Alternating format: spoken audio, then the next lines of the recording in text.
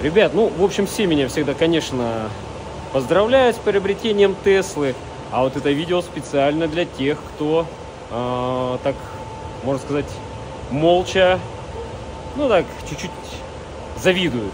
В общем, второй раз в сервисе уже э, вкладываюсь в машину, брал не новую, бушную. Приходится, конечно, доводить до ума, э, чтобы ездить и наслаждаться. Вот почистили тормозную систему, датчики парктроников что-то глюкнули, э, тоже почистили сами датчики, все заработало, все ребята восстановили.